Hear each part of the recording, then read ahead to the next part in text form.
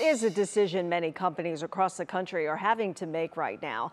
How to transition to returning to the workplace after more than a year of working from home because of the pandemic.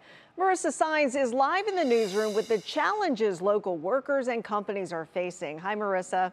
Hey, Lena. You know, whether employees will return to the office or stay home depends on two things your line of work and the company. Companies are offering different things, different options, such as full time in house, hybrid, and some are even staying full time remote. Now, a recent study of more than a thousand human resource professionals shows that roughly 55% of employers said they'd offer hybrid models of working, 28% said they'd require employees to come back full time. And you know, when you think of working remotely, first thing you might think of is doing it from your home office, right? Well, now many are working remotely and traveling or moving to entirely different cities. One young professional I spoke with who recently switched jobs says the new gig is across the country, but would allow him to work remotely, a major factor in his decision to make the switch company is based out in Texas. And the reason why I chose to go to another place is because it was going to be fully remote, allowing me to to go after these other business opportunities that I really wanted to to pursue.